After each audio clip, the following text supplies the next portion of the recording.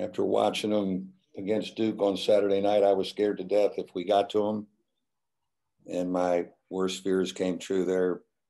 They just overwhelmed us. I think it was an 11 point game in the second half. And uh, then just the roof fell in and we just couldn't do anything inside. And they certainly have big bodies that just keep pounding on you. Their defense was great too. Kind of been demoralized inside and uh, and then on the defensive end. I don't know. That's a great question. Um, I don't know. It's it's it's uh,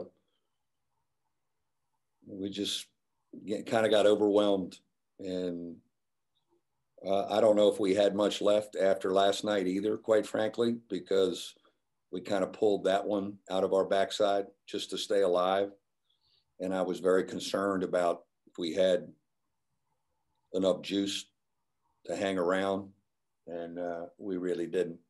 Even though I don't, I don't, I don't even know how it was an 11 point game at the 16 minute mark. That's been a weakness of ours all year, Pat. I mean, we we're not a great defensive rebounding team, and uh, you know, so I mean, it's my worst fears, and these guys, and it's their greatest strength. Um, the nights we have had success against them, we've kept it down a little bit, but it it just started off as you know volleyball.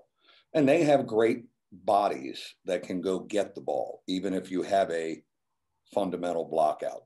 This group coming back going into my 22nd year is in the same boat as my seventh year. Now some of you haven't covered me that long. Tom has. We had missed the tournament three years. Uh, this will be three or four however you want to count it. Um, so it, it that it, you, you got to go back.